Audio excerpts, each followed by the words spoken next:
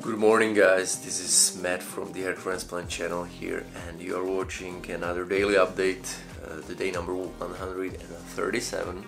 This is the morning. Uh, yesterday I washed my hair with a shampoo, with my neutral pH shampoo. Plus I added a little bit of Nizoral, which has this DHT blocking substance, ketoconazole. This is the time when I want to start preventing my my native hair my, from further hair loss. As you can see the hair is pretty nice, it has pretty nice structure and it is pretty thick guys, you know. I'm gonna get you another angle maybe, like this one. Look at this, look at this. You see that structure of this hair is like very thick and it, it stands like this. It's amazing how it stands like up. I really love it, really really love it. I brought a comb and now I'm just gonna go for my hair. Look at this. Look at the thickness. See that? It's quite thick. Look at this. Okay.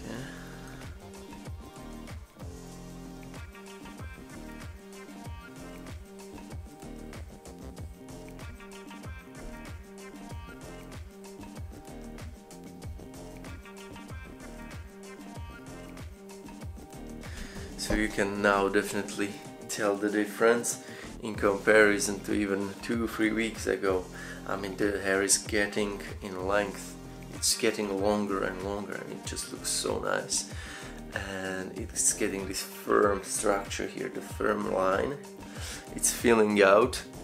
And uh, even the parts behind the main hairline are thickening out which is great Today I'm gonna use the oils later, I'm gonna massage them in before bed and tomorrow morning or tomorrow throughout the day uh, I'm gonna wash it out with the shampoo again. Sometimes I when I wake up with my oils uh, in my hair from the from the night before, I, I'm not gonna rinse it out in the morning, but I'm, sometimes I wait the whole day and uh, just to have them in my in my scalp and then at night I'm gonna rinse it out with a shampoo. So it depends sometimes how I like to do it. If I'm not gonna go out to work or if I'm gonna just stay around uh, in my in my house or uh, in my apartment uh, I'm, I'm not gonna rinse the oils out. But if I'm meeting somebody or if I'm going out in the morning uh, to work or something I'm gonna rinse the oils out because it looks a little oily and it doesn't look so nice and clean. Now we are out. And you can see how the hair looks even on a normal light on a daily light. It's quite thick. You can see that that that thick dark front which is just growing in very nicely. I can use a comb just to show you the density. I'm gonna come closer now see that? Now I'm out this is daily light. There is no added lighting. This is just my hair. Okay guys so that was it. That was uh, my update.